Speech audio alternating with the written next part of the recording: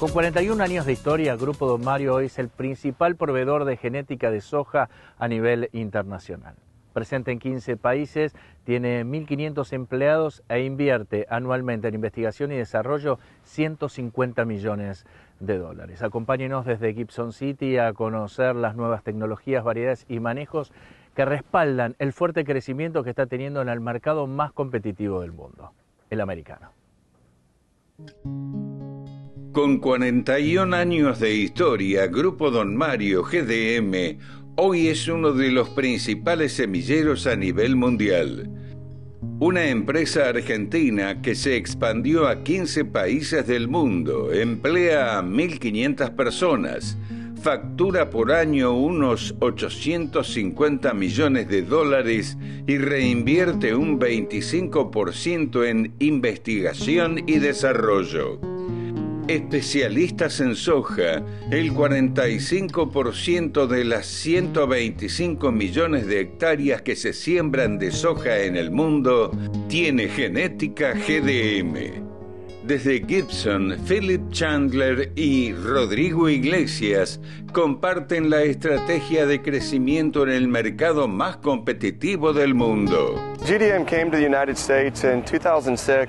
GDM llegó a los Estados Unidos en el año 2006 y comenzó a reproducir su genética en Arkansas. Desde entonces ha evolucionado a cuatro ubicaciones de reproducción. En la actualidad tenemos en nuestro portfolio sojas desde el grupo doble cero hasta el grupo 6 de madurez y tenemos más de 600.000 parcelas de investigación donde seleccionamos variedades productivas y con el mejor precio para los agricultores estadounidenses. Hoy en día GDM está trabajando en dos caminos diferentes en los Estados Unidos. El primero es a través de negocios de marcas propias y el otro trabajamos con licencias para brindar un mejor acceso a través de otras compañías dentro de los Estados Unidos. Tenemos una plataforma múltiple. Grupo Don Mario sería GDM, arrancamos en Arkansas por una cuestión de que en el sur, mid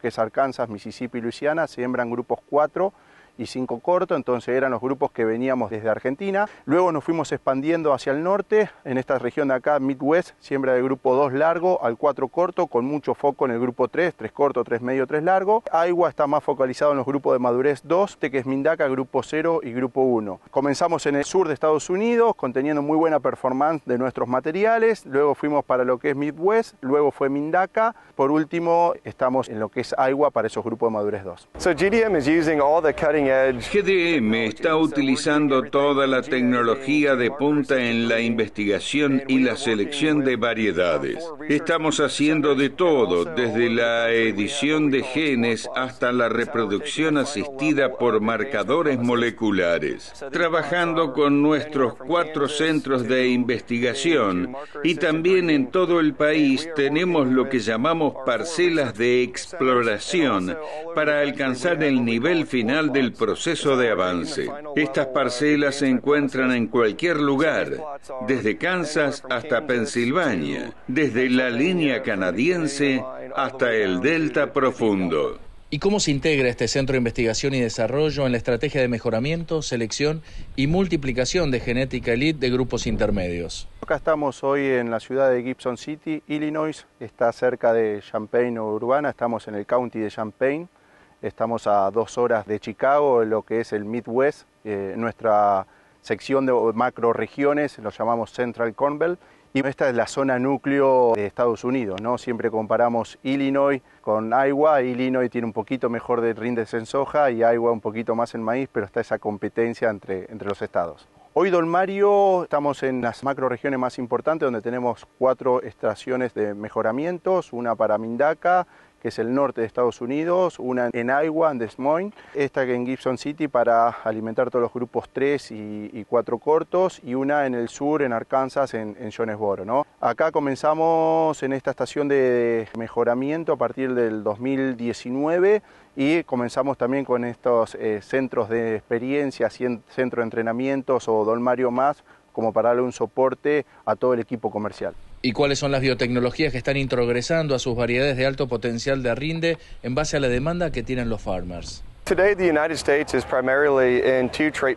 Nuestra genética en Estados Unidos introduce dos plataformas biotecnológicas comerciales. Enlist E3 y ExtendFlex. GDM se compromete a ocuparse primero de la genética. Nuestra primera prioridad es ofrecer y cultivar las mejores variedades para el agricultor y permitirle elegir el paquete de características que mejor se adapte a su campo. Si comparamos con Argentina, estamos trabajando con más tecnologías, con mucho foco en el LIS o en lo que es STEMFLEX, pero también trabajamos en nuestro programa de mejoramiento convencional. La cantidad de variedades que está testeando hoy todo el grupo Dolmario en todas las regiones, estamos al orden de 450.000 a 500.000 variedades, para luego tener en cada región un lanzamiento que va entre 20 a 30 variedades dependiendo de cada región. Cuando digo cada región, ya sea Argentina por un lado, Brasil por el otro y lo que es acá en Estados Unidos. ¿no?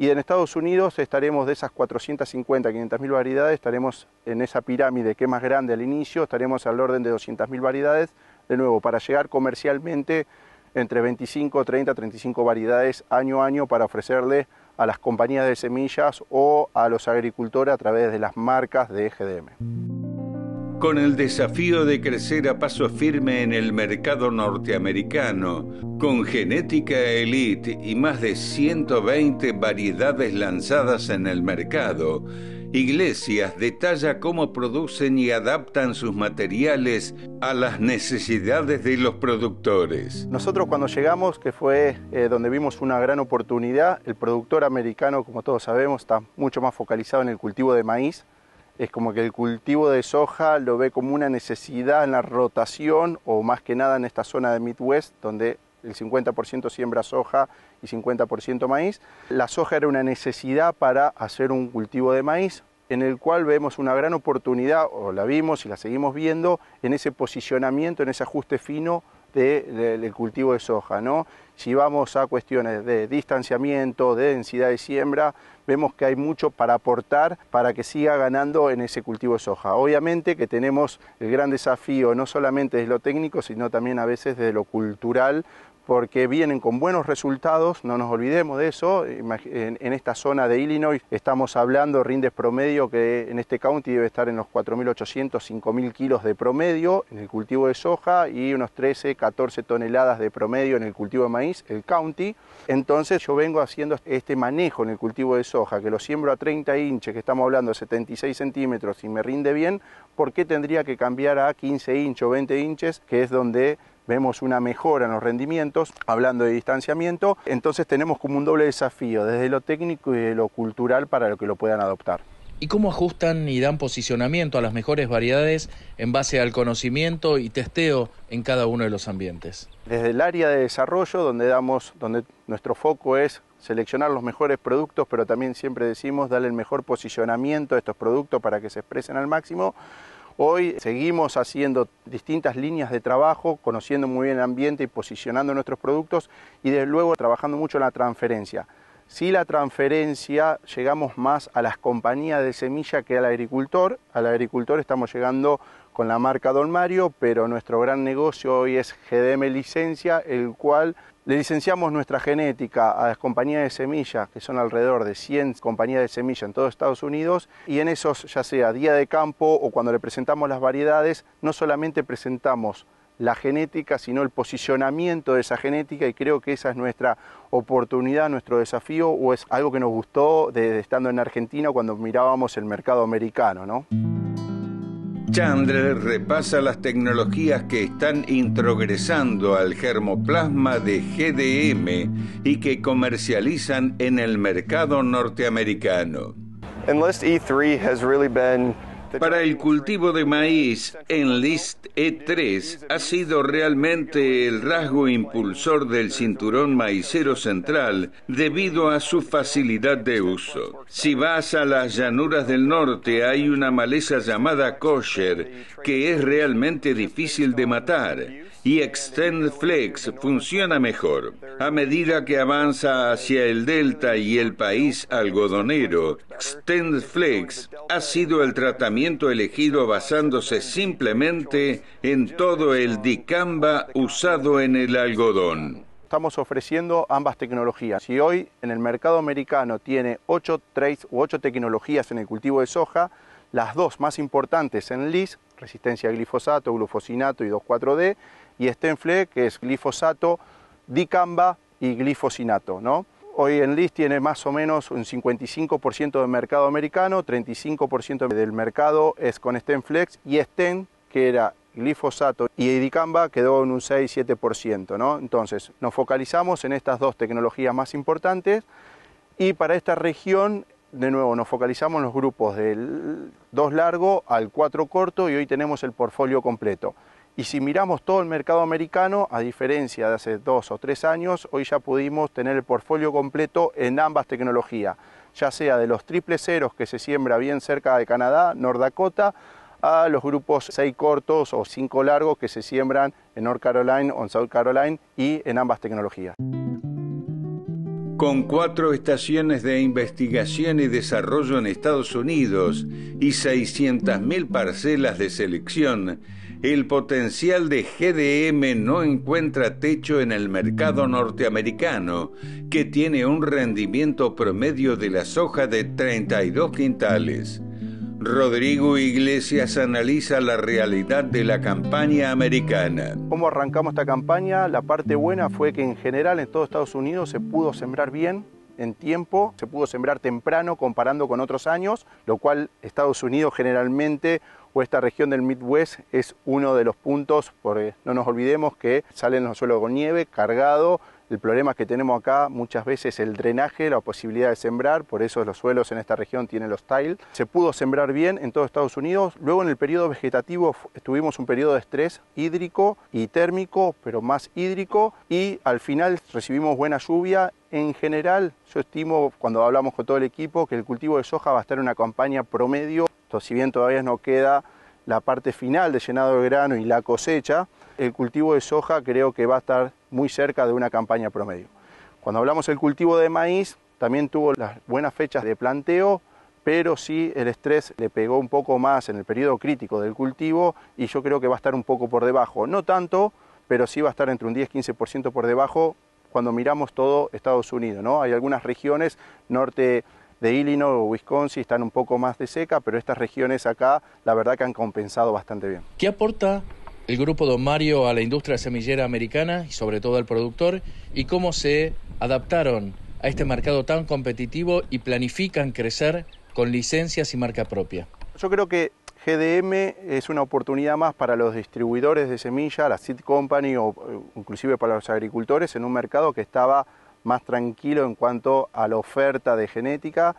Creo que es una oportunidad más, es algo más para testear que hoy nos tienen en consideración nuestra genética se está adaptando muy bien en todas las regiones y de nuevo en esto que somos muy técnicos y nos gusta el posicionamiento, nos da siempre un plus a diferencia de lo que hoy está acá o en el mercado en el cual recordemos que tenemos un 30-35% de mercado que es de licencia, son distintas compañías de semilla que licencian a GDM licencia y el otro 60-65% estamos hablando de las marcas nacionales.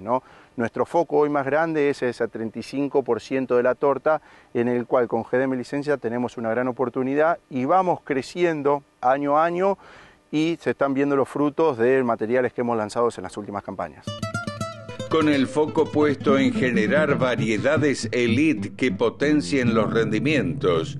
Grupo Don Mario marca la diferencia en el mercado americano con la experiencia, manejo agronómico y conocimiento. Cuando nos vamos a juntar con un agricultor o con una compañía de semillas, decir, bueno, podés bajar la densidad de siembra, podés sembrar más temprano, podés ajustar los distanciamientos y creo que eso es donde su foco fue cultivo de maíz en la gran mayoría, entonces ahí es algo que nosotros nos gusta, nos sale, conocemos y creo que es el aporte que le hacemos a estas compañías. De nuevo, no solamente la mejor genética, sino el mejor posicionamiento. Y si Estados Unidos te brinda todas las herramientas para poder conocer los ambientes, para dar una recomendación más sitio específico y para poder aplicar esa recomendación más sitio específico, ¿no? Es decir, ya sea de la maquinaria, ya sea de una sembradora, ya sea de una cosechadora para recolectar datos, la conectividad que hay, tenemos todo ahí como para utilizarlo, ¿no? Entonces ese es el gran desafío y no todas las compañías tienen ese foco. A veces la compañía es más 100% genética, si bien lo nuestro también es 100% genética, pero ese plus para agregar a ya sea compañía de semilla o para que le llegue al agricultor. El farmer americano tiene preferencia por el cultivo de maíz. ¿Qué sucede con la nueva generación? ¿Hay una oportunidad para aumentar la superficie en el cultivo de soja en base a una gran introducción de tecnología y manejo? Lo primero y más importante es dar una opción a los agricultores. Dado que GDM tiene casi el 45% del germoplasma mundial de soja y una cantidad muy pequeña de germoplasma que se vende en los Estados Unidos, creemos que podemos ofrecer mejores productos que los que jamás hayan tenido en el pasado y vamos a apoyarlo agresivamente para darles más opciones de lo que tienen hoy. El agricultor es mucho fierro y dentro de fierro siembra, cosecha y la verdad que están arriba de los fierros el agricultor, no es tan técnico o no es empresario si lo comparamos con un agricultor de Argentina, ¿no? Acá es muy fierrero. Y después, si nos vamos a los cultivos, maicero. Soja, de nuevo, hay mucho para hacer, mucho para transmitir y de nuevo, creo que los dos grandes desafíos que tenemos es de la parte técnica que, y la parte cultural para poder aplicar eso y vemos que hay un cambio de generación en el cual esto nos va a facilitar también de alguna manera, no sé si en 5 años o en 10 años, pero sí de alguna manera esto va a ir mudando a lo que era hace 10 años eh, el agricultor de Midwest. En 2016, GDM empezó a comercializar productos e invertir fuertemente en Estados Unidos. Con el foco puesto en el mejoramiento genético, hoy ofrece un portfolio competitivo y tecnológico que comercializa en el mercado con licencias y venta directa al productor con marca propia. Hay casi 90 millones de acres de soja en los Estados Unidos y hasta ahora había muy pocos proveedores de germoplasma. Entonces GDM está tomando su germoplasma patentado y brindando a los agricultores opciones aún mejores, con mayor rendimiento y diferentes características económicas que, en última instancia, harán que los agricultores obtengan más dinero y les darán más opciones en la granja. El futuro sería seguir haciendo crecer nuestro negocio a través del negocio de la marca y también a través de licencias amplias. Cuando arrancamos, arrancamos solamente para el mercado del Grupo Madurez 4 con una tecnología y hoy nos encontramos con un portfolio desde el triple cero al 6 cubriendo todas las macroregiones con las dos tecnologías más importantes en LIS y STEMFlex disponible para agricultor y el negocio también viene acompañando el número de ventas de bolsas, acompañando a este crecimiento, ¿no? Es decir, tuvimos que formar los portfolios, los productos tuvieron que repetir performance, que eso es algo muy bueno, están repitiendo la performance de lo que nosotros vemos y el negocio nos viene acompañando. Obviamente es un mercado competitivo, no solamente de lo técnico, sino también de lo comercial, pero creo que vamos por un buen camino.